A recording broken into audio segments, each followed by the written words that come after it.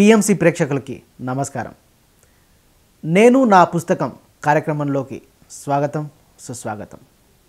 పుస్తకం ఒక పుస్తకం మనిషి జీవితాన్ని మార్చేస్తుంది. ఒక పుస్తకంలో ఉన్న శక్తితో ఎన్నో దేశాల్లో ఎన్నో విప్లవాలు వచ్చాయి. ఈ ప్రపంచం ఎంతో పురోగతి సాధించింది ప్రాపంచికంగా. అలాగే ఆధ్యాత్మికంగా కూడా ఎన్నో పుస్తకాలు ఒక గాంధీజీ చేతిలో భగవద్గీత పట్టుకొని రెగ్యులర్గా చదువుతూ మన భారతదేశానికి స్వతంత్రాన్ని తెచ్చిపెట్టాడు. ఒక ఓషో పుస్తకాలతో ఒక ఆధ్యాత్మిక విప్లవాన్ని క్రియేట్ చేశాడు. అలాగే ఒక రమణ మహర్షి ఒక యోగానంద పరమహంస ఎంతోమంది పుస్తకాలు మన ఆధ్యాత్మిక ఉన్నతికి ఉపయోగపడ్డాయి. పుస్తకం అన్నది మంచి మిత్రుడని ప్రతిరోజు పుస్తకం చదివే అలవాటు ఉంటే జీవితంలో తప్పకుండా విజయం వస్తుందని మనం చిన్నప్పటి నుంచి వింటూనే వస్తున్నాం. అలాంటి ఎందరో పుస్తకాలను పుస్తక రచయితలను పరిచయం చేసే కార్యక్రమమే నేను నా పుస్తకం. ఈరోజు నేను నా పుస్తకం కార్యక్రమానికి ప్రకృతి ఉమామహేష్ గారు విచ్చేశారు. ప్రకృతి ఉమామహేష్ గారు software engineer and pyramid spiritual సొసైటీలో గత ఇరవై ఐదు సంవత్సరాలుగా ఎనలేని సేవలు అందిస్తూ వస్తున్నారు. ఈ మధ్య భిన్నంగా ఆలోచించు అనే ఒక పుస్తకాన్ని రాయడం జరిగింది. ఆ పుస్తకం గురించి మరింత లోతుల్లోకి వెళ్ళడానికి రచయిత తన అనుభవాలు పంచుకోవడానికి పిఎంసి స్టూడియోకి రావడం జరిగింది. Thank you very much sir. Welcome to నేను నా పుస్తకం. Thank you Navakanth and PMC team నన్ను ఈ కార్యక్రమానికి ఆహ్వానించినందుకు అండ్ పిఎంసి ప్రేక్షకులకు నమస్కారం. ముందుగా మీరు పుస్తకం నేను రచయితను అవుతా అని ఎప్పుడు అనుకున్నారు? ఎప్పుడైనా అలాంటి థాట్ వచ్చిందా మీకు? ఏంటి? యాక్చువల్గా ఇరవై సంవత్సరాల క్రితం అంటే తొంభై తొమ్మిదిలో ప్రతిసారి చెప్పాడు పుస్తకం రాయమని. కానీ అనుకోలే. నేను రాయగలుగుతాను అనుకోలే. అప్పుడు సారు రెగ్యులర్గా అనుభవాలు చెప్పిన వెంటనే ఈ పుస్తకం రూపంలో రావాలి ఈ పుస్తకం ద్వారా అంటే నీ అనుభవాల ద్వారా అందరికీ ఎంతో మంచి జరగాలి అని చెప్తూ ఉండేవాడు. తొంభై తొమ్మిదిలో చెప్పడం జరిగింది బట్ మరి నాకు నాకు ఆ యొక్క ధైర్యం సరిపోలేదు. ఇంకా నాకు జ్ఞానం లేదేమో ఇంకా కొద్ది రోజులు రావాలేమో ఇంకా కొన్ని సంవత్సరాల తర్వాత చూద్దాంలే అని వదిలేశాను. ఆ ఆలోచనే వదిలేశాను. అంటే ఊహల్లో కూడా నేను నా- నేను పుస్తకం రాస్తాను రాయాలి అనే ఆలోచన తీసేశాను. ఓకే. కానీ అనుకోకుండా అంటే ఒక one and half two years back okay. మన నా ఆలోచనలన్నీ కూడా కొన్ని కొటేషన్స్ రూపంలో పెడుతూ అవి ఒక ఇమేజెస్ ఫామ్లో పెట్టి ప్రకృతి అని నా పేరు కూడా పెట్టకుండా అందరికి హెల్ప్ చేయాలి అనే ఉద్దేశంతో దీనిలోకి పలికి మనం వెళ్ళే ముందర మీ నేపథ్యం చెప్పండి. అంటే మీ ఫ్యామిలీ మీ స్పిరిచువల్ బ్యాక్గ్రౌండ్. మీరు ఏ ఊర్లో పుట్టారు ఏంటి? బ్రీఫ్గా మీ గురించి ఒక రెండు నిమిషాలు. నేను కర్నూలులో పుట్టడం జరిగింది. ఒక మధ్యతరగతి కుటుంబంలో. మా నాన్న ఆర్టిస్ట్లో వర్క్ చేసేవారు. ఇద్దరు అన్నలు ఒక అక్క. నేను అందరికంటే చిన్నవాడిని ఓకే. చదువుల్లో ఎప్పుడు ముందుండేవాడిని అందరికంటే కూడా చుట్టుముట్టు వాళ్ళందరికంటే కూడా చిన్నప్పటి నుంచి స్కూల్లో ఫస్ట్ కాలేజీలో ఫస్ట్. చదువు తప్ప నాకు వేరే ప్రపంచమే లేదు. ఓకే. ఇరవై నాలుగు గంటలు చదువు చదువు చదువు. ఎలాగైనా ఇంజనీర్ కావాలి ఆ తర్వాత ఐఏఎస్ కావాలి కలెక్టర్ కావాలి ఇలా అంటే రకరకాల గోల్స్ ఉండేవి నాకు. అనుకోకుండా మనం తొ- తొంభై ఐదు ఆ ప్రాంతంలో ఇంజనీరింగ్ చదువుతున్నప్పుడు అంటే మొదటి సంవత్సరంలో మెడిటేషన్లోకి రావడం పత్రికారు పరిచయం కావడం దాంతో జీవితం మొత్తం మలుపు తిరిగింది. అప్పటి వరకు ఉన్న ఆలోచన విధానం అప్పటి వరకు ఉన్న గోల్స్ వేరు. తొంభై ఐదులో ఆయన కలిసిన తర్వాత కొద్ది రోజుల తర్వాత గోల్స్ అంటే జీవిత లక్ష్యాలన్నీ మారిపోయాయి. అక్కడ నుండి నా యొక్క జీవన విధానం అంటే నేను ఎలా జీవించాలని మిగతా జీవితం అంతా కూడా అని నేను మార్చుకున్నాను. సో అందులో భాగంగానే ధ్యానం చేయడం ధ్యానం సంబంధించిన పుస్తకాలు చదవడం పత్రికారు చాలా బుక్స్ రికమెండ్ చేసేవాళ్ళు. ఓషో రజనీష్ కావచ్చు సేత్ కావచ్చు నీలి రుణాలు కావచ్చు చాలా పుస్తకాలు చాలా స్టాండర్డ్ బుక్స్ రికమెండ్ చేసేవారు. కొన్ని వేల పుస్తకాలు గురించి రైటర్స్ గురించి చెప్పేవారు సార్. చాలామంది రచయితలు బాగా పుస్తకాలు చదివిన వాళ్ళు. అవును.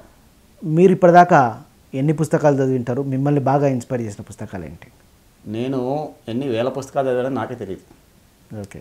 ఎప్పుడు పుస్తకం చదువుతూనే ఉంటారు ఎప్పుడు ఆలోచనలు స్థిరపడాలి అంటే సరైన ఆలోచన విధానానికి చేరుకోవాలి అని చెప్పేసి తొంభై ఐదు నుంచే పరిచయమైన పత్రిక పరిచయమైన కొద్ది రోజులకే పుస్తకాలు చదవడం స్టార్ట్ చేశాం అందులో ముఖ్యంగా మొట్టమొదటి కాలంలో నేను చదివినవి ఓషో రైనేష్ పుస్తకాలు.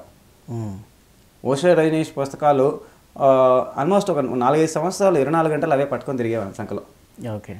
పుస్తకం పెట్టుకొని ఎప్పుడు ట్రావెల్ చేయడం మీకు అలవాట? ఎప్పుడు ట్రావెల్ చేస్తుంటే ఎక్కడైనా ఒక నిమిషం దొరికితే ఇలా ఓపెన్ చేసి చదివేవాడిని.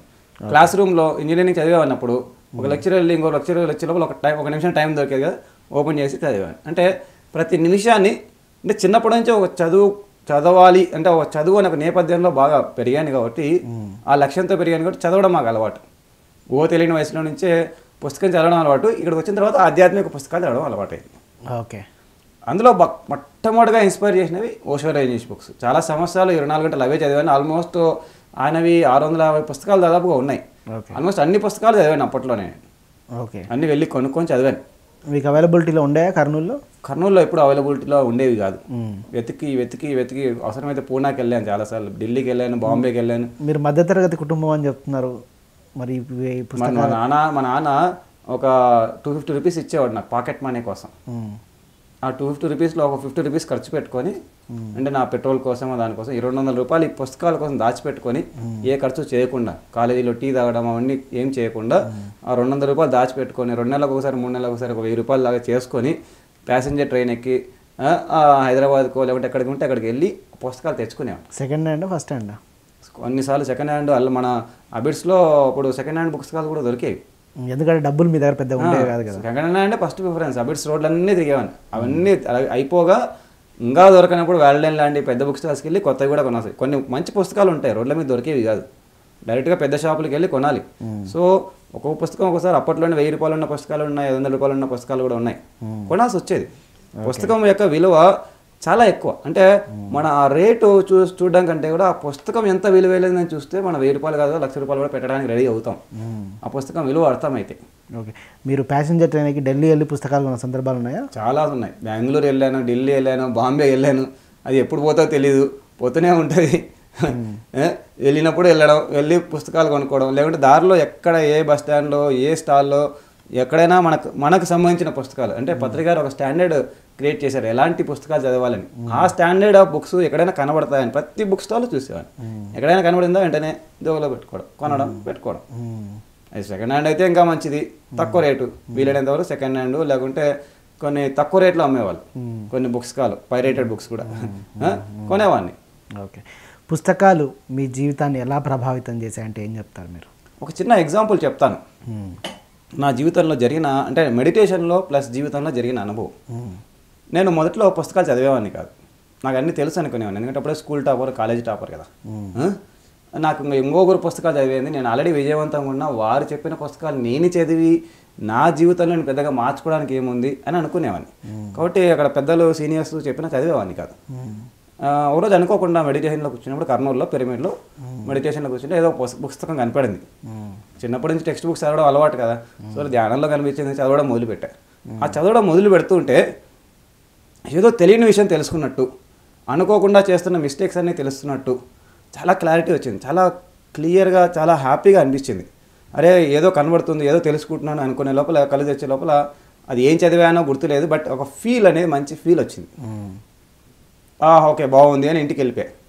మళ్ళీ నెక్స్ట్ డే వస్తే నెక్స్ట్ డే మళ్ళీ కనిపించింది బుక్ మళ్ళీ చదవడం మొదలుపెట్టా నెక్స్ట్ పేజీ నుంచి. అలా ఒక నాలుగైదు రోజులు గడిచిపోయింది. రోజు వస్తుంది బుక్ నేను చదువుతున్నా మెడిటేషన్లో సో ఆ చదువుతుంటే నాకు ఆ డౌట్ వచ్చింది మరి. ఈ రోజు కనబడుతుంది. ఎసెన్స్ మాత్రం ఫీల్ మాత్రం ఉంది. కానీ దాని యొక్క అసలు ఆ బుక్ ఏంటి అనేది నాకు తెలియట్లేదు.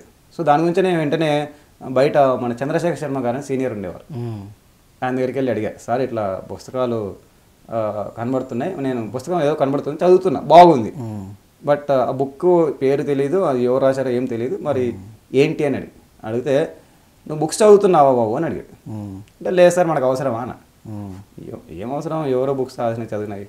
అని అనుకునేవాడిని. అవసరమా? అని అన్న. అది కాదు ధ్యానం చేయకముందు నీకు ధ్యానం విలువ తెలియలేదు. ఓకే. అలాగే పుస్తకం చదవక ముందు నీకు పుస్తకం విలువ ఎలా తెలుస్తుంది? ఒకసారి చదివి చూడు. చదివితే దానిలో ఉన్న మజా ఏంటి? దానిలో వల్ల నీకు ఏం తెలుస్తుందో నీకు తెలుస్తుంది. ఏది తెలియకుండా అంటే ప్రాక్టికల్గా లేకుండా ఇంప్రాక్టికల్గా ఎప్పుడు మాట్లాడకూడదు అని చెప్పేసి ఆయన బ్యాగ్లో వెనకాల చాలా పుస్తకాలు ఉండేవి తీసి ఒక బుక్ నా చేతిలో పెట్టాడు. ఆ బుక్కే స్వామి రామ రాసిన హిమాలయ యోగులు అన్న పుస్తకం. ఓకే. అదే నేను మెడిటేషన్ ఓపెన్ చేసి చూస్తే అంతా అదే. సో ఆ అనుభవం నా జీవితాన్ని మీరు మార్చింది. ధ్యానంలో చూసిన పుస్తకాన్ని ధ్యానంలో చూసిన పుస్తకము నాకు డైరెక్ట్గా శర్మ గారు ఇచ్చిన పుస్తకం రెండు ఒకటే. ఎన్ని రోజుల రిలవెన్స్ ఇది? అది వారం రోజులు జరిగింది అలా. వారంలో ఒక ఎపిసోడ్ లాగా జరిగింది ఒక అనుభవం. ఓకే. అనుభవం వచ్చిన వారం అనుభవం వచ్చిన వారం రోజులకి. అంటే ఆ రోజే ఇంక బయటకు వచ్చాను పిరమిడ్లో నుంచి. వారము అంటే ఏడవ రోజు బయటకు వచ్చాను. బయటకు వచ్చి ఇంక ఇట్లా రోజు కనబడుతుంది బుక్ గుర్తు గుర్తుండట్లేదు. మ్యాటర్ గుర్తుండట్లేదు. ఫీలింగ్ ఉంది. సో అందుకనే అడిగాను. అడిగితే ఆయన ఇచ్చాడు. అదే బుక్ ఇది రెండు ఒకటే ఆ బుక్ చదువుతుంటే నాకు నేను అంటే నా గురించి నేను చదువుకున్నట్టుంది. అందులో స్వామిరామ స్టూడెంట్గా ఉన్న రోజుల్లో. ఎందుకు నా జీవితం మారింది అంటే స్వామిరామ కూడా తెలియకుండా స్టూడెంట్గా ఉన్న రోజుల్లో చిలిపిగా నాకు అన్నీ తెలుసు అనుకుంటూ ఎన్నో మిస్టేక్స్ చేస్తూ ఉంటాడు. వాళ్ళ గురువు ఇండైరెక్ట్గా ఆయన మారుస్తూ ఉంటాడు. అందులో అన్ని చదివిన తర్వాత ఓహో నాకు తెలుసు అనుకుంటూ అంటే ఒక రకమైన ఈగోతో ఒక రకమైన అజ్ఞానంతో నాకు నేనే ఎన్నో తెలియని మిస్టేక్స్ ఎన్నో చేస్తున్నాను. అంటే తెలుసుకోవాల్సిందిగా చాలా ఉంది. ఎంత తెలుసుకుంటే అంత మంచిది ఎంత తెలుసుకుంటే తెలిసే మొట్టమొదటి విషయం నాకు తెలియదు అని. సో ఆ రోజు నుంచి పుస్తకాలు చదవడం మొదలుపెట్టాను అది నా యొక్క టర్నింగ్ పాయింట్ ఆ తర్వాత ఇంకా ఎన్నో పుస్తకాలు చదవడం జరిగింది. అది ఫస్ట్ బుక్ అంటే టు స్టార్ట్ విత్. మన పిరమిడ్లోకి వచ్చిన తర్వాత. తర్వాత భగవద్గీత చదివాం రమణ మహర్షి గారు చదివాం ఓషో రణీష్ గారు చదివాం. అంటే మార్చిన పుస్తకం నాకు మొదట. రైట్ నా దిశను మార్చిన పుస్తకం. స్వామి రామ స్వామి రామ హిమాలయ యోగులు. పుస్తకాలు స్పిరిచువల్ బుక్స్ చదవడం. అన్ని స్టార్ట్ అయ్యి. అలా థౌజండ్స్ ఆఫ్ పుస్తకాలు డిఫరెంట్ ఆథర్స్ డిఫరెంట్ నన్ను బాగా ఇన్స్పైర్ చేసిన వాళ్ళలో ఓషో రైనిషు సేత్ ఆ, అంటే సేత్ జేన్ రాబర్ట్ తెలుసు కదా. మరి ఆ తర్వాత నీలి డొనాల్డ్ అంటే power of now books conversation with God అంటే అవన్నీ కూడా. అంటే చాలా ఉన్నాయి.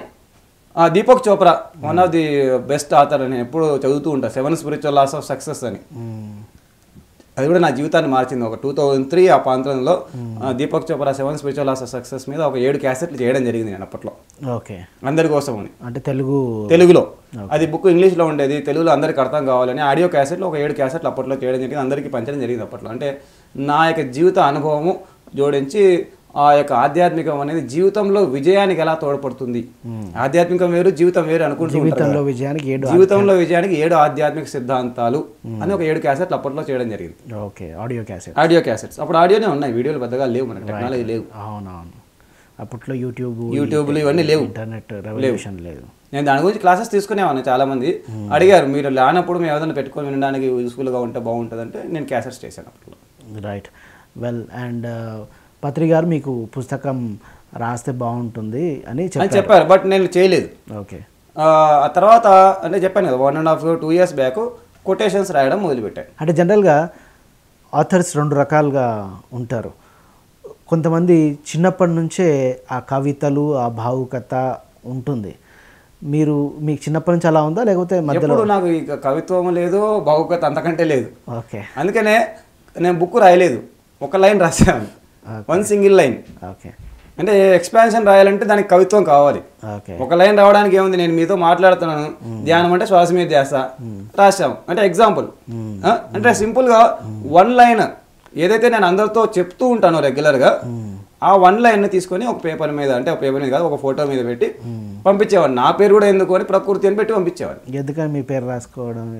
పేరుతో అవసరం ఏంది జనాలకు సత్యం అర్థం కావాలి అంతే. అనుకునేవాడిని. అంటే నా పేరు అవసరం ఏముంది చేరాల్సింది చేరాలి అనే ఉద్దేశంతో పంపించేవాడిని. అది నా పక్కన వాళ్ళు కూడా చాలా మంది తెలిసేది కాదు. అట్లా ఆరు నెలలు గడిచిపోయిన తర్వాత పక్కన వాళ్ళు వచ్చి ఎవరో చాలా బాగున్నాయి కొటేషన్స్ చూడండి నాకే చూపించడం మొదలుపెట్టారు. అంటే ఇది నేను రాసినవి అంటే అప్పుడు అవునా మీరే రాశారా? మీరు ఎందుకు బయటికి రావట్లేదు? నా తర్వాత పేరు పెట్టించడం మొదలుపెట్టారు సోషల్ మీడియాలో పోస్ట్ చేసే వాళ్ళ ఫేస్బుక్లో పె- పంపించేవాడిని వాట్సాప్లో ఫ్రెండ్స్కి పంపించేవాడిని. ఓకే రోజు కొటేషన్స్ రాయడం రోజు ఇరవయో ముప్పయో వీళ్ళని బట్టి ఒక పది కొటేషన్స్ ఇరవై కొటేషన్ రాసి పంపిస్తుంటే చాలా రెస్పాన్స్ వచ్చేది. ఎవరో రాస్తున్నారో చాలా బాగున్నాయి. అని ఎక్కడెక్కడ వేరే నన్ను వెతికి వెతికి పట్టుకొని కొంతమంది వేరే కంట్రీస్ నుంచి కూడా ఫోన్ చేశారు. ఆస్ట్రేలియా నుంచి ఫోన్ చేశారు దుబాయ్ నుంచి ఫోన్ చేశారు అమెరికా నుంచి ఫోన్ చేశారు. మీరే అంట రాస్తున్నది ఇవి మాకు కరెక్ట్ టైంకి అందాయి. మేము ఒక ఇబ్బందిలో ఉన్నప్పుడు మీ కొటేషన్ వచ్చింది. సందర్భానుసారం ఉపయోగపడ్డాయి. మీరు మా గురించి తెలిసే రాశారా? అన్న వాళ్ళు కొన్ని వేల మంది ఉన్నారు. ఓకే. సో అలా కొటేషన్స్ రాస్తూ వెళ్తూ దానిలో ఒక త్రీ థౌజండ్ కోర్స్ పైగా రాశాను. నెక్స్ట్ అనుకోకుండా వాళ్ళు క్వశ్చన్స్ చేయడం మొదలుపెట్టారు. అంటే ఇంకా వివరణ ఇస్తే బాగుంటుంది. దానికోసం యూట్యూబ్ ఛానల్ మొదలుపెట్టారు. యూట్యూబ్ ఛానల్ పేరు? ప్రకృతి మెడిటేషన్ అని చెప్పేసి ఇట్లా ఇంకా డౌట్స్ ఉంటే పంపిస్తే యూట్యూబ్ ఛానల్ ప్రకృతి మెడిటేషన్ అని యూట్యూబ్ ఛానల్ మొదలుపెట్టి రోజుకు ఒక వీడియో చేసేవాడిని. ఫైవ్ మినిట్స్ వీడియో ఎవరైనా డౌట్ పంపిస్తే దానికి ఆన్సర్ ఇచ్చేవాడిని. ఇంకా కాదు మీరు రాసిన కొటేషన్స్ ఎక్కడెక్కడో పడిపోయినాయి. ఒక సంవత్సరం నుంచి చదువుతున్నవి. అన్నీ వాళ్ళు ఒక చోట ఉంటే బాగుంటుందని మళ్ళీ ఒక వంద రెండు వందల మంది నన్ను వెనకబడ్డం మొదలుపెట్టారు. అంటే ఒక చోటు ఉంటే ఒక పుస్తకం రూపంలో ఉంటే ఇంకా ఎక్కువ మందికి ఎక్కువ రోజులు సహాయపడ పడే అవకాశం ఉంటుంది అని చాలా మంది సలహా ఇవ్వడం రికమెండ్ చేయడం జరిగింది.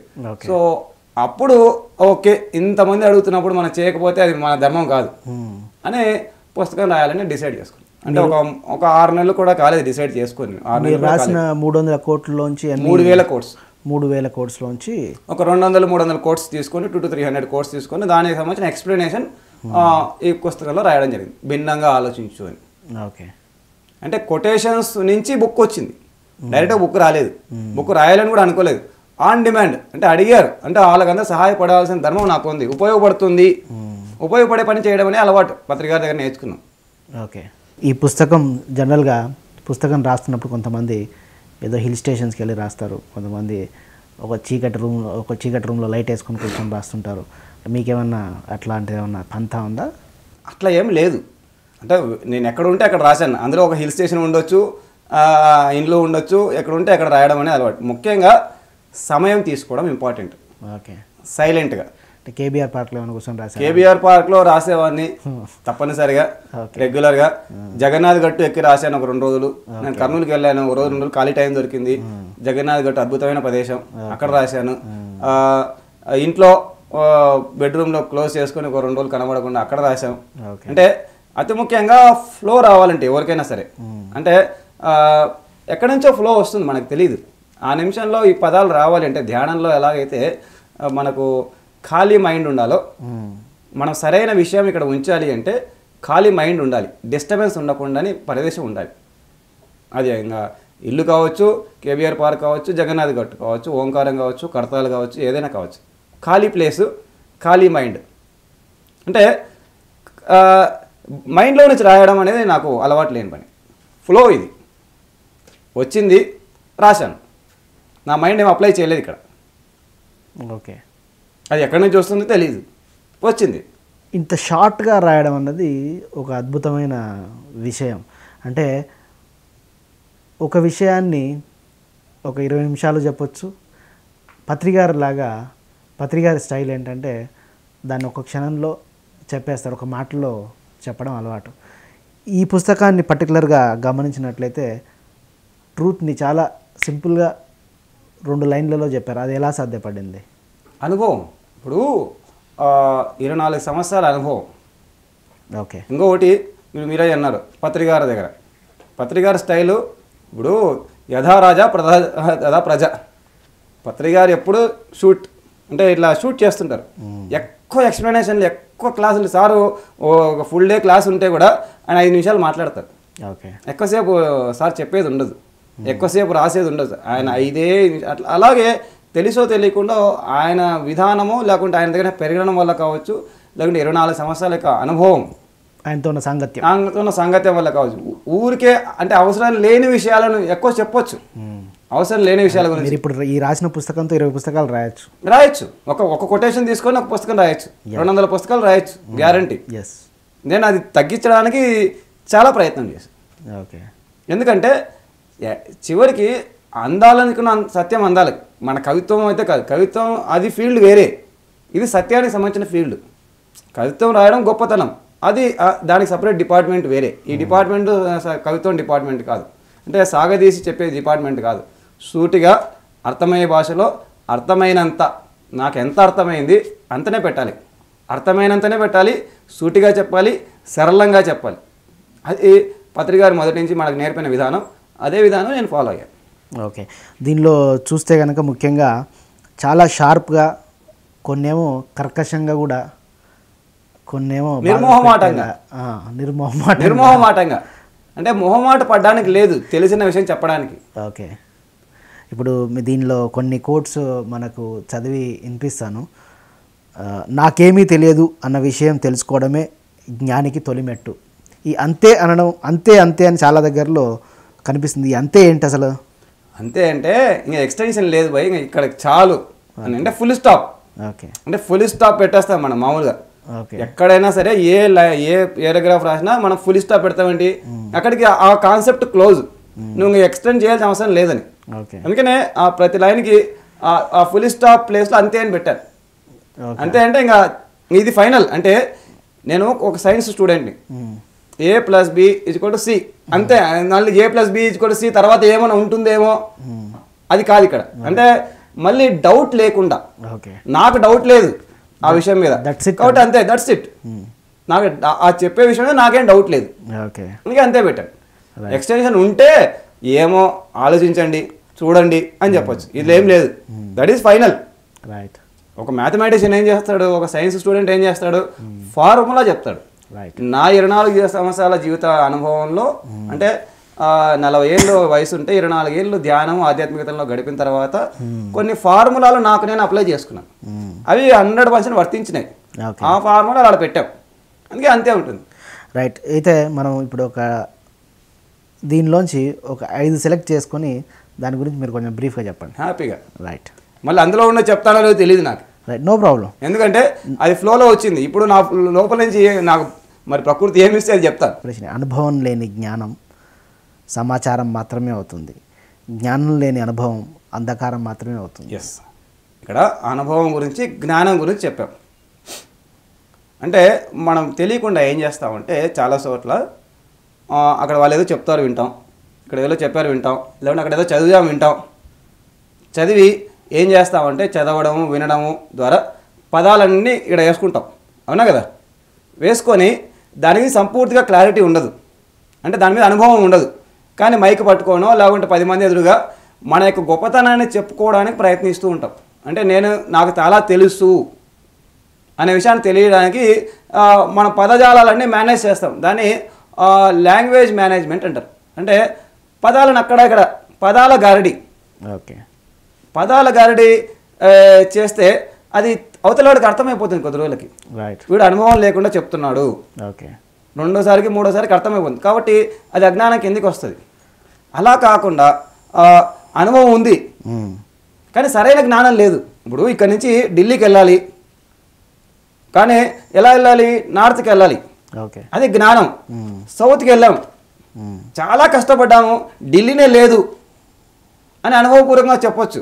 నేను చాలా ట్రై చేశాను అసలు ఢిల్లీ లేనే లేదు. ఓకే. అంటే అది అనుభవం. కానీ జ్ఞానం లేకపోతే నీకు దా నీకు నువ్వు ఢిల్లీ చేరుకోలేవు. ఓకే. సరైన జ్ఞానం ఉండాలి. ఆ దా ఆ జ్ఞానానికి సంబంధించిన దారిలో వెళ్ళాలి. అప్పుడు ఢిల్లీ వస్తుంది. అప్పుడు అది అనుభవపూర్వకమైన జ్ఞానం అవుతుంది. రైట్ ఇంకొకటి గమనిస్తే కనుక మీరు రాసిన దానిలో నీపై నీకు నమ్మకం తగ్గితే నీపై ఇతరులకు నమ్మకం తగ్గుతుంది. గుర్తుంచుకోండి. అంతే కదా సార్. ఇప్పుడు నేను మాట్లాడుతున్నాను. ఈ బుక్ గురించి. నేను భయం భయంగా ఇందులో ఏముందో ఏమో నాకే డౌట్ ఉంది అనుకోండి చెప్పే దాంట్లో మ్మ్. మీరేం చదువుతారు పుస్తకం? ఏం వాళ్ళు ఏమి వింటారు? ఓకే. అవునా కదా? అంటే నేను చేసే పని మీద నేను చెప్పే మాట మీద మ్మ్. నాపై నాకు నమ్మకం లేకపోతే ఎదుటివాడికి నమ్మకం ఎప్పటికీ రాదు. ఓకే. అది అసంభవం. నాకు నేనే నమ్మలేని పరిస్థితిలో ఉంటే ఇంకెవడో ఇతర వాళ్ళు ఎలా నమ్ముతారు? మొదట అందుకే నన్ను నేను నమ్మాలి. అంటే నేను చేసేది ఎంతవరకు సరైనది. ఎంతవరకు సరైన దారి? ఇది ఎంతవరకు కరెక్టు? ఈ క్లారిటీ నమ్మకం మనకే మనపై మనకు ఉంటే అవతలవాడు కన్విన్స్ అయినా కాకపోయినా అవతలవాడు వద్దన్నా ఎలా అన్నా మనం చేస్తూ వెళ్తాం రెండో రోజుకో మూడో రోజు అవతలవాడు కంపల్సరీగా మన దారిలోకి వస్తాడు. రైట్ వెళ్ళండి. బాగా చెప్పారు. ఇంకోటి ఈ క్షణంలో వీలైనంత ఎక్కువగా జీవించడానికి ప్రయత్నించండి. మిగిలినవన్నీ వాటికవే సర్దుకోవడం మొదలు పెడతాయి అని రాశారు ఈ ప్రపంచంలో మన జీవితాన్ని గమనిస్తే ఉన్నవి మూడు. ఒకటి గతము. రెండు ఈ క్షణము ప్రస్తుతం. మూడు భవిష్యత్తు. ఓకే. గతం లేదు. అయిపోయింది. దాని యొక్క అనుభవ సారం మాత్రమే ఉంది. ఓకే. భవిష్యత్తు తెలియదు. ఏమవుతుందో. ఓకే. భవిష్యత్తు కూడా రేపటిలోకి వెళ్తే మళ్ళీ అది ఈ క్షణమే అవుతుంది. ఓకే. అంటే గతానికి భవిష్యత్తుకి రూపాలు లేవు. గత యొక్క అనుభవ సారం ఉంది. భవిష్యత్తు యొక్క విజన్ ఉంటుంది మనకి. సో ఆ విజన్ మనం భవిష్యత్తులో ఇది సాధించాలి. టెన్త్ క్లాస్లో ఫస్ట్ క్లాస్ మార్కులు రావాలి. టెన్త్ క్లాస్లో టాపర్ కావాలి. అనుకుంటే ఏం చేయాలి? గత భవిష్యత్తు గురించి ఆలోచిస్తూ ఆలోచిస్తూ ఉంటే కాదు. మ్మ్. ఈ రోజు ఇప్పుడు ఈ క్షణంలో చదవలసిన పాఠం చదవాలి. రైట్ అంటే ఈ క్షణమే జీవితం మొత్తం. ఈ క్షణంలో మనం చేయవలసిన కార్యం చేస్తే ఈ క్షణంలో మనం చేయవలసిన సాధన చేస్తే ఆటోమేటిక్గా అంటే ప్లాన్ వేసుకోవచ్చు. రైట్ కానీ ప్లాన్లోనే జీవితం అంతా గడిచిపోకూడదు. ఓకే. భవిష్యత్తు ప్రణాళికలు ఎంతైనా ఉండొచ్చు కాక. కానీ తెలియకుండా మనం చేస్తే ఏంటంటే ప్రణాళికలు వేస్తూనే ఉంటాం వేస్తూనే ఉంటాం ప్రణాళికలు ప్రణాళికలుగానే ఉంటాయి.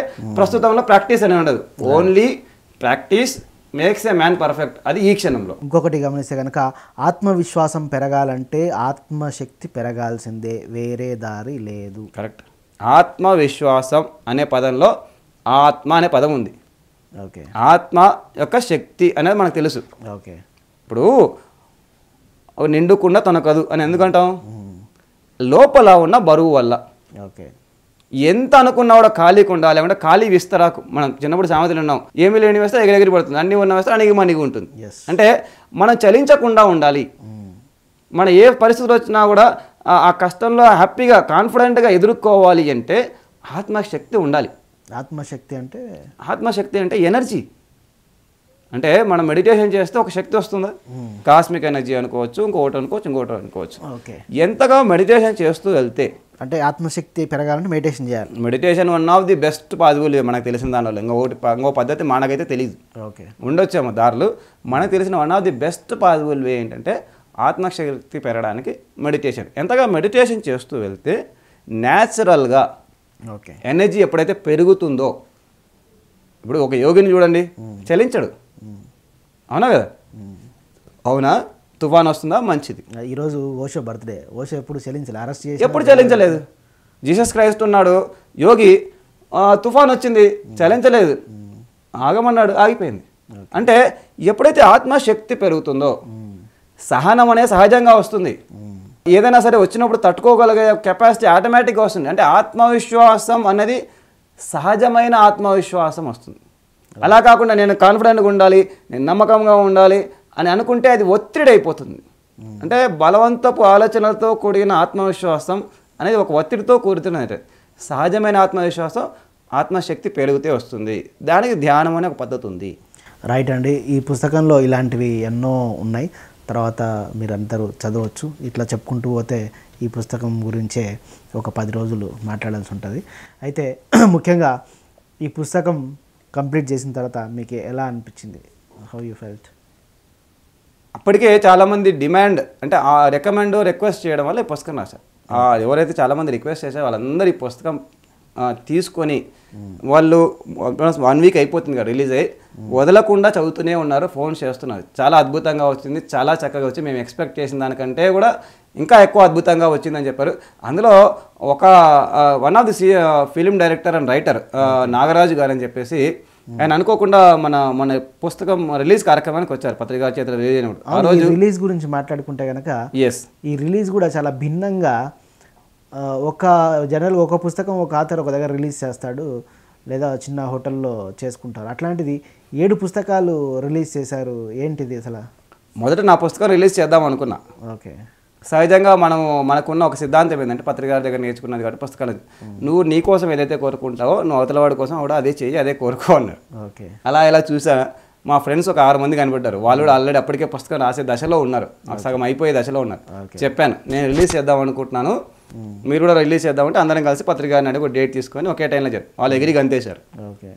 అలా అది ఒక పెద్ద మెగా ఈవెంట్ అయిపోయింది. నేను ఒక్కనే చేసింటే అది చిన్న ఈవెంట్ అయ్యింది వచ్చావు నా పుస్తకం రిలీజు ఏడు మంది కలవడం వల్ల అది ఒక పెద్ద కార్యక్రమం అయిపోయి అద్భుతంగా జరిగింది. వాళ్ళందరూ కూడా ధన్యవాదాలు చెప్పాలి. అందుకే లవ్ గివింగ్ అనేది ఇంపార్టెంట్ ఎప్పటికైనా ఇంపార్టెంట్ మనం ఏది కోరుకుంటామో మన కోసం మనం ఎదుటి వాడి కోసం అదే కోరుకోవాలి. నేను అద్భుతంగా కార్యక్రమం చేద్దాం అనుకున్నా కలుపుకున్నాను.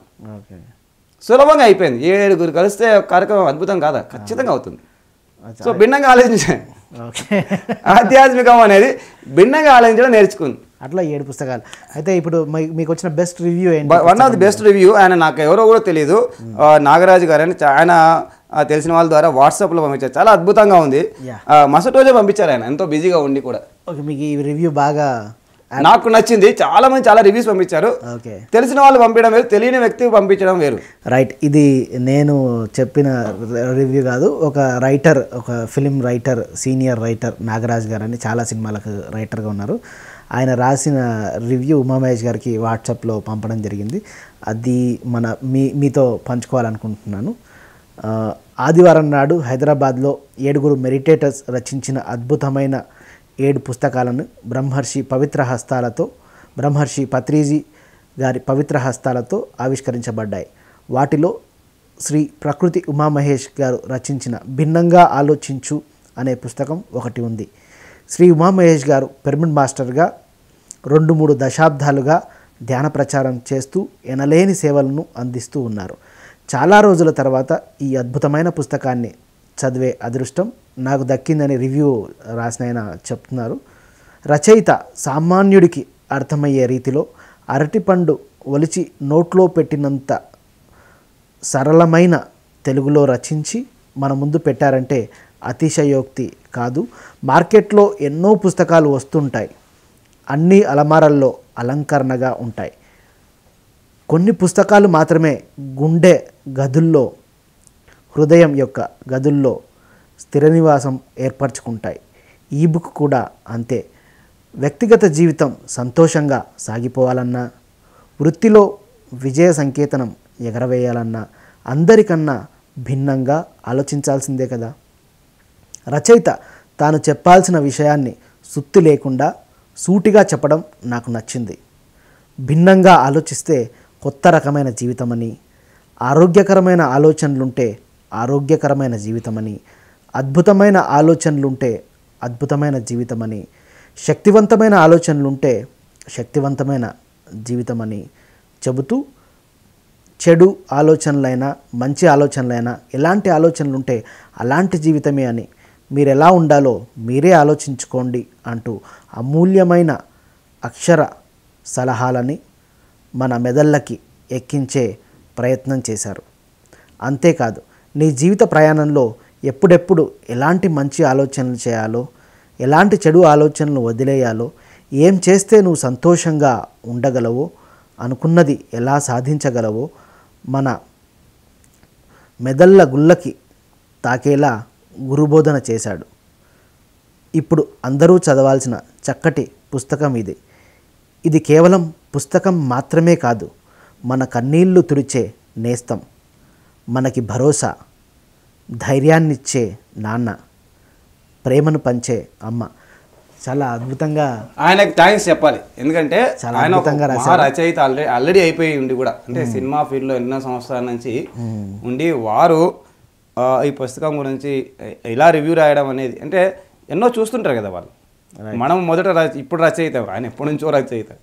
ఇలాంటి రివ్యూ ఇవ్వడం అనేది నిజంగా ఆనందదాయకం. ఆయనకి నిజంగా నచ్చి ఉంటేనే ఇచ్చి ఉంటాడు కదా.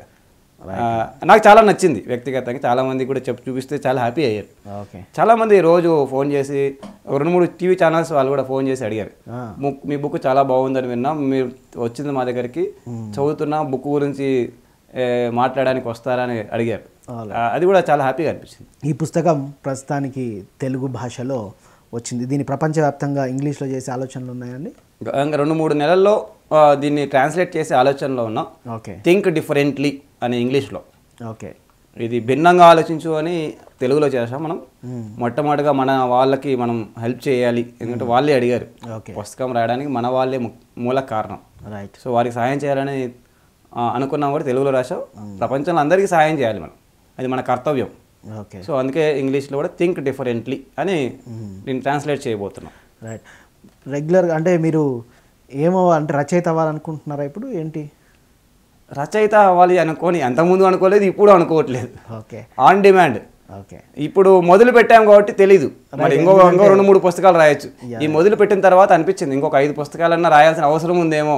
ఓకే అంటే ఈ అనుభవం ఒక పుస్తకంలో సరిపోలేదు ఓపెన్లీ చెప్ ఓపెన్గా చెప్పాలి ఇరవై నాలుగు సంవత్సరాల అనుభవం చాలా కష్టపడి కొన్ని పాయింట్స్ ఓకే ఇంకా ఉన్నాయి. నెక్స్ట్ బుక్స్ కనీసం ఐదు పుస్తకాలు ఐదు సంవత్సరాల్లో రాస్తాను ఎందుకంటే చాలామంది ఇప్పుడు ఎన్నూరు మురళీనాథ్ గారు ఎక్కడో జాబ్ చేసేవాళ్ళు పుస్తకాలు రాయడం మొదలెట్టి జాబ్ క్విట్ చేసి పుస్తకాలే రాస్తూ ఉండిపోయారు.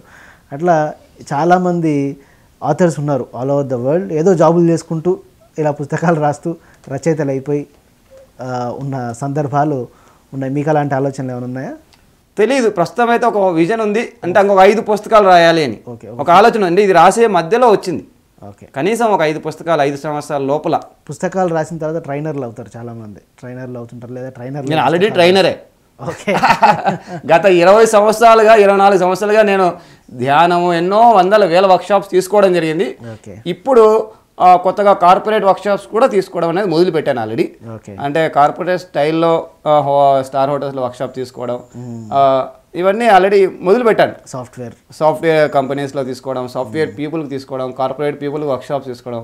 ఒక లైఫ్ కోచ్గా కూడా నేను సర్టిఫైడ్ కావడం జరిగింది. ఎందుకంటే సర్టిఫైడ్ పీపుల్కి చాలా అంటే ఒక సిస్టమేటిక్గా చెప్పడం అనే విధానం గురించి. ఓకే. నేను సర్టిఫైడ్ కావడం జరిగింది. ఆల్రెడీ తీసుకుంటున్నాం. మొదట నేను ట్రైనర్ ఇప్పుడు బుక్ రాసి ఓకే. ఈ పుస్తకం రిలీజ్ రోజు మీకు ఏదో అవార్డు కూడా ఇచ్చినట్టున్నారు అవార్డు పేరు వచ్చేసి ఇండియన్ బుక్ ఆఫ్ రికార్డ్స్ వారి ఇండియన్ ఎక్సలెన్సీ అని అవార్డు దేనికని ఇచ్చారా దాన్ని అండి? ఈ కొన్ని గత కొన్ని సంవత్సరాలుగా అంటే ఈ కొటేషన్స్ రూపంలో కావచ్చు వీడియోస్ రూపంలో కావచ్చు యూత్కు సెషన్స్ తీసుకోవడం విషయంలో కావచ్చు మోటివేట్ చేయడం. అంటే మార్పు సమాజంలో మార్పు తీసుకురావడానికి నా వంతుగా నేను చేసిన కృషిని గుర్తించి వారికి ధన్యవాదాలు చేయలేదు. ఓకే. వారు గుర్తించి ఆ రోజే ప్రత్యేకించి బుక్ కూడా రాస్తున్నానని తెలిసి డాక్టర్ హరికుమార్ గారు miss India two thousand seventeen doctor Madhu అనుకుంటాను. ఆవిడ ఆధ్వర్యంలో ఆ రోజు మనకి ఇవ్వడం జరిగింది. రైట్ అండి. Indian book of excellency award అంటారు. Okay Indian book of records వారు ఇచ్చారు ఒక గురువు గారి దగ్గర మీరు ధ్యానం నేర్చుకుని ఆ గురువే మీ పుస్తకం ఓపెనింగ్ రా- చేయడం ఎలా అనిపిస్తుంది? ఆయన దగ్గర ఇరవై నాలుగు సంవత్సరాలు ఆ, సాధన చేసి ఆయన గైడెన్స్లో నడిచి ఇంకా మహా విశేషం ఏంటంటే ఈ పుస్తకాన్ని ఆయన కరెక్ట్ చేయడం. కరెక్షన్ చేశారా? ఆయన కరెక్షన్ చేసి తిరుగులేదు అన్నట్లు ఆయన కరెక్షన్ చేస్తే తిరుగులేకపోవడం ఆయనకు నచ్చితే తిరుగులేదు. ఓకే. నేను భయపడుతూ వెళ్ళాను ఆయన దగ్గరికి. ఎక్కడ కొడతాడో. అక్షర దోషాలు ఉంటాయని. ఆ అక్షర దోషాలు ఉంటాయి అక్షర దోషాలు ఉన్నాయని నాకు తెలుసు. ఎందుకంటే నాకు తెలుగు రాయక ఇరవై నాలుగు సంవత్సరాలు అయిపోయింది. అలాంటిది ఆయన వెళ్తూనే ఫస్ట్ కనబడుతూనే అప్పటికే కొంచెం కరెక్షన్ చేసినాడు. అక్షర దోషాలు అందే పక్కన పెట్టేసాయి. అవి కరెక్షన్ చేస్తే పోతాయి. సబ్జెక్ట్ను సాధించావు. నువ్వు ఎలా రాసావు అసలు నాకు చాలా ఆనందం ఉంది. పర్ఫెక్ట్ చాలా కంగ్రాట్స్ అని చెప్పాడు. చాలా హ్యాపీ అయ్యాడు. హ్యాపీ అవ్వడమే కాకుండా మూడు రోజులు అన్ని పనులు పక్కన పెట్టి చాలా బిజీగా ఉండి వర్క్స్ విషయంలో అన్ని పనులు పక్కన పెట్టి ఇరవై నాలుగు గంటలు దగ్గర ఉండి అన్ని కరెక్షన్ చేసి చాలా ఆనందంగా ఆయన ఇవ్వడమే కాదు ఆయన దగ్గరుండి అందరికీ ఆ రోజు కార్యక్రమం చూసిన వాళ్ళు గమనించండి అందరికీ ఫ్రీగా అందరికీ పంచేశాడు కొన్ని వందల పుస్తకాలు. అంటే ఆయన ఆనందం చూస్తే చాలు. ఇప్పటివరకు ఇరవై నాలుగు సంవత్సరాలు బతికింది ఆయన కళ్ళలో ఆనందం చూడడానికే. ఏ పని చేసినా నేను ఏదైనా ఒక పని చేస్తే ఆయనకు నచ్చితే చాలు అని ఒక చిన్న ఆనందం కోసం ఏమైనా చేయడానికి రెడీ. గురువుకు నచ్చితే గురు గురువుకు కరెక్ట్ అనిపించింది అంటే మన జీవితం ధన్యమైపోయినట్టే ఓకే. గురువు కరెక్ట్ అనిపించట్లేదంటే మన సరైన దారిలో లేనట్టు. రైట్ అంతే కదా? ఓకే. గురువు దారి చూపించాడు. ఆయన దారిలో నడుస్తున్నాం. ఆయన విధానంలో జీవిస్తున్నాం. ఆయన కరెక్ట్ అనిపించాలి మొదట. మనకు కరెక్ట్ అనిపించవచ్చు కాక నెక్స్ట్ లెవెల్లో ఆయన ముఖ్యం. ఓకే. భవిష్యత్తులో మీ నుంచి ఎలాంటి పుస్తకాలు ఎక్స్పెక్ట్ చేయొచ్చు? ఇది భిన్నంగా ఆలోచించు. నెక్స్ట్ బుక్ అనుకున్నాను ఇంకా దాని మీద కంప్లీట్ డిసైడ్ కాలేదు. సమాధానం ఓకే. అనే రెండో బుక్ ఇప్పుడిప్పుడే పేరు వచ్చింది. మన అంటే ఎక్కడి నుంచి వచ్చిందో తెలియదు. మనకు ఎంత ప్రకృతి ఇస్తుంది అనేది మన ఎక్కువ అనుకునే ఆలోచన. అంటే జీవితంలో చాలామంది సమాధానాల కోసం ఎతుకుతూ ఉంటారు. ఓకే. అంటే ఇది ఎందుకు జరిగింది? నెక్స్ట్ ఏం చేయాలి? అర్థం కాని పరిస్థితి. అఫ్ కోర్స్ ఈ పుస్తకం కూడా అలాంటి సమాధానం ఇవ్వడం కోసమే రాశాం. ఓకే. నెక్స్ట్ డైరెక్ట్గా ఓకే. క్వశ్చన్ టు ఆన్సర్ చాలామంది చాలా క్వశ్చన్స్ పంపిస్తున్నారు నాకు. సో ఆ క్వశ్చన్స్కి నాకు తెలిసిన సమాధానం నేను ఇస్తూ వచ్చాను యూట్యూబ్ ద్వారా. సో వాటన్నిటికీ అంటే ఒక రెండు వందల మూడు వందల క్వశ్చన్స్ ద్వారా నెక్స్ట్ బుక్ రాస్తే అది అందరికీ ఉపయోగపడుతుంది అనే ఒక ఆలోచన వచ్చింది. ఓకే సో దీనికి సెకండ్ వాల్యూమ్ కూడా వచ్చే అవకాశం ఉంది. అంటే భిన్నంగా ఆలోచించి వన్ ఇది అందుకే వాల్యూమ్ వన్ అని ఉంటుంది ఇక్కడ. అదేలేండి. అంటే మీ మూడు వేల కొటేషన్లో మీరు తీసుకున్నది రెండు వందలు రెండు వందల క్వశ్చన్స్ ఇంకా ఏమైనా ఇంపార్టెంట్ క్వశ్చన్స్ వస్తాయేమో తెలియదు సో దానిలో నుంచి మరి ప్రకృతి కరుణిస్తే రెండో వాల్యూమ్ కూడా రాస్తాను భిన్నంగా ఆలోచించి వాల్యూమ్ టూ రావచ్చు. సమాధానం అనే పుస్తకం కూడా రావచ్చు. ఒక మెడిటేషన్ అంటే తెలియదు. జనరల్ ఆడియన్కి ఈ పుస్తకం రెస్పాన్స్ ఎలా ఉంది? మొట్టమొదటగా ఈ కొటేషన్స్ అన్నీ కూడా చదివి మనకు రెస్పాన్స్ ఇచ్చింది non meditators. All right. Meditators కూడా రెస్పాండ్ అయ్యారు చాలామంది. వాళ్ళకి డైరెక్ట్గా ఎలాగో తెలుస్తుంది సబ్జెక్ట్. కొత్త వాళ్ళు అంటే ధ్యానంతో సంబంధం లేని వాళ్ళు చదివి అసలు మీకు ఈ ఆలోచన ఎలా వచ్చిందని నా గురించి తెలుసుకొని ఓహో మీరు ధ్యానం చేయడం వల్ల మీ గురువు ఇలా ట్రైనింగ్ ఇవ్వడం వల్ల మీకు ఆలోచన వచ్చింది కాబట్టి మేము. కూడా ధ్యానం చేస్తాం అని అడ్రస్ కనుక్కొని ధ్యాన కేంద్రాలకు వెళ్ళి ధ్యానం చేస్తున్నారు. అలా కొన్ని వందల మంది చేయడం జరిగింది. సో ఇది జీవితానికి సంబంధించిన విషయం. ఓకే. ఆధ్యాత్మికత అంటేనే జీవితానికి సంబంధించిన విషయం. సో భిన్నంగా ఆలోచించడం అనేది తప్పనిసరిగా ప్రతి వ్యక్తికి ధ్యానంతో సంబంధం ఉన్నా సంబంధం లేకపోయినా మొదట చదివితే కొద్ది రోజులకు జీవితం మారి అంటే అనుభవపూర్వకంగా మారిపోయి తప్పనిసరిగా ధ్యానంలోకి వస్తారు. ముఖ్యంగా టైటిల్ చాలా అట్రాక్టివ్గా ఉంది. భిన్నంగా ఆలోచించండి అని ఈ ఆలోచించండి అని ఉల్టా పెట్టారు. రివర్స్లో పెట్టాం. అది అర్థమవుతుంది అందరికీ. చూస్తారు కొద్దిసేపు. అంటే ఆలోచిస్తారు. అంటే మనిషిని మొదట ఆలోచింపజేయాలి ఓకే రైట్. అండ్ ఎక్కడైనా ఎప్పుడైనా ఆనందంగా ఉండడానికి సరి అయిన ఆలోచన విధానాలు అని కింద క్యాప్షన్ ఇచ్చారు. దీనికి ఏంటి ఏంటి ఆ క్యాప్షన్ ఎందుకని? ఇప్పుడు రకరకాల పరిస్థితుల్లో మనం వెళ్తూ ఉంటాం. ఓకే. కొన్ని బాధాకరమైన సంఘటనలు కొన్ని ఫెయిల్యూర్స్ కొన్ని సక్సెస్లు కొన్ని ఈగో ప్రాబ్లమ్స్ వస్తుంటాయి. కొన్ని గౌరవ గౌరవాలు జరుగుతుంటాయి. అంటే రకరకాల పరిస్థితుల్లో మనం జీవితంలో గడపవలసి వస్తుంది. ఓకే. ఆ పరిస్థితుల్లో మనం ఎదుటి వారిని మార్చలేకపోవచ్చు కొన్నిసార్లు. ఎదుటి వాళ్ళని కంట్రోల్ చేయలేని పరిస్థితులు. పరిస్థితులను కూడా కంట్రోల్ చేయలేని పరిస్థితుల్లో కొన్నిసార్లు ఉంటాం. మరి ఆ పరిస్థితిలో ఎనలేని బాధ మనకు వస్తూ ఉంటుంది. ఏం చేయాలో అర్థం కాని పరిస్థితి అప్పుడు మనకు హెల్ప్ చేసేది ఒకటే మన ఆలోచన విధానం. ఓకే మన ఆలోచన విధానాన్ని కొద్దిగా మార్చుకోగలిగితే అంటే ఆ పరిస్థితిని చూసే విధానం మారిపోతుంది. దాన్ని రిసీవ్ చేసుకునే విధానం మారిపోతుంది. అందుకే ఎక్కడైనా సరే ఎప్పుడైనా ఆలో మనం ఆనందంగా ఉండాలంటే ఎలాంటి ఆలోచన విధానంతో మనం ఉండాలి అని ఒక పద్దెనిమిది రకాల పరిస్థితులని. రైట్ ఇంకా ఈగో ప్రాబ్లమ్స్ కావచ్చు బంధ బాంధవ్యాలు కావచ్చు సంపాదన గురించి కావచ్చు బాధల్లో ఎలా ఉండాలి ఇలాంటి అన్ని ఒక రకరకాల టాపిక్స్ తీసుకొని ఈ ఆలోచన విధానాలు అంటే నాకు హెల్ప్ చేసిన ఆలోచన విధానాలు. నాతో పాటుగా ఎంతోమంది ఫ్రెండ్స్కి హెల్ప్ చేసిన ఆలోచన విధానాల గురించి ఇక్కడ రాయడం జరిగింది. అందుకనే ఎక్కడైనా ఎప్పుడైనా ఆనందంగా ఉండడానికి. రైట్ ఆనందంగా ఉండడానికి సరి అయిన ఆలోచన. సరైన ఆలోచన విధానం సరికాని ఆలోచన విధానాలు ఉంటే మనకు తెలియకుండానే బాధ వస్తుంది. రైట్ సరైన ఆలోచన విధానం అంటే ఆనందం వస్తుంది. ఓకే మాకు ఆనందంగా రావడానికి కారణం ఆనందం రావడానికి కారణమైన ఆలోచన విధానాన్ని ఇక్కడ ఉంచడం జరిగింది. రైట్ దీని కింద ప్రకృతి ఉమా మహేష్ అని రాసింది. ప్రకృతి అంటే మీ ఇంటి పేరా? ఏంటి? ప్రకృతి అన్నది ఇంటి పేరు కాదు ప్రకృతి అన్న పేరుతో కొటేషన్స్ రావడం జరిగింది. అందరూ ఆ పదంతోనే గుర్తించడం జరిగింది కాబట్టి కలం పేరా? కలం పేరు అనుకోండి ప్రకృతి లేదా ప్రకృతి నుంచి ఇవన్నీ వచ్చాయి. నా టాలెంట్ ఉందని నేను అనుకోవడం లేదు ఈ పుస్తకం రాయడంలో. ఎక్కడి నుండో వచ్చాయి. నేను ఒక ఒక ఒక ఫ్లూట్ లాగా ఒక ఇన్స్ట్రుమెంట్ లాగా ఉపయోగపడ్డాను. అంటే అది ప్రకృతి రాసిందేమో అనే ప్రకృతికి గౌరవం ఇవ్వాలని నా పేరు కూడా తెలియాలని అందరూ అంటున్నారు కాబట్టి పక్కన ఉమామేషన్ పెట్టాను ఓకే. అదర్వైజ్ పెట్టేవాడిని కాదు ప్రకృతిని పెడదాం అనుకున్నాను. లేదు లేదు మీరు మాకు తెలియాలి అనే పబ్లిక్ డిమాండ్. సో అందుకే ఉమామేషన్ పెట్టాను ఓకే ప్రకృతి ఉమా మహేష్ అని పెట్టడం జరిగింది. రైట్ ఇందులో ముఖ్యంగా గమనిస్తే కనుక చాప్టర్స్ వచ్చి బాధ దుఃఖం ఒకటి రెండు ఆనందం ఆరోగ్యం మూడు బంధాలు ప్రేమ నాలుగు స్నేహం సమాజం ఐదు లక్ష్యం విజయం అపజయం ఆరు ఆలోచనలు. ఏడు గతం వర్తమానం భవిష్యత్తు. ఎనిమిది అహం ఆత్మగౌరవం. తొమ్మిది నమ్మకం విశ్వాసం. పది శాంతి భ్రాంతి. పదకొండు మార్గం. పన్నెండు భయం ధైర్యం. పదమూడు సమయం. పద్నాలుగు మంచితనం. పదిహేను ప్రేరణ. పదహారు జ్ఞానం జ్ఞాని. పదిహేడు ప్రశ్నలు సమాధానాలు పద్దెనిమిది సాధన. ఓకే ఈ ఈ పద్దెనిమిది పద్దెనిమిది ఎందుకని? అంటే పిరమిడ్ సొసైటీలో పద్దెనిమిది సూత్రాలు భగవద్గీత అది కూడా కరెక్టే. అంటే పిరమిడ్ సొసైటీలో ఇప్పుడు పత్రిక పద్దెనిమిది ఆశూత్రాలు రాశారు. ఓకే. భగవద్గీతలో పద్దెనిమిది ఉన్నాయి. భాగవతం ఇట్లా ఏ తీసుకున్న పద్దెనిమిది ఉన్నాయి. అనుకోకుండా ఎన్ని చాప్టర్స్ పెట్టాలి ఆలోచన వెంటనే పత్రిక గారే గుర్తొచ్చారు. పద్దెనిమిది. అందుకే పద్దెనిమిది పెట్టడం రైట్ అండి. ఇప్పటిదాకా ఉమా మహేష్ గారితో నేను నా పుస్తకం ఈ కార్యక్రమంలో భిన్నంగా ఆలోచించు. ఎక్కడైనా ఎప్పుడైనా ఆనందంగా ఉండడానికి సరి అయిన ఆలోచన విధానాలు అన్న పుస్తకంపై చర్చించుకున్నాం.